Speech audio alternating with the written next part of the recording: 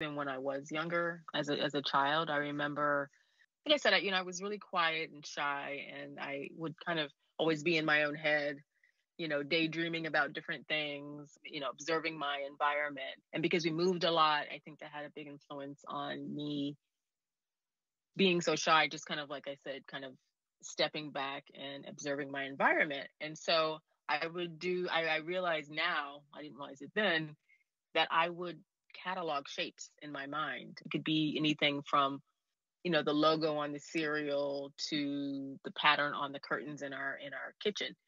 And I would just kind of like catalog them and, and, and then play with them in my mind and put them together and match them and, you know, mismatch them.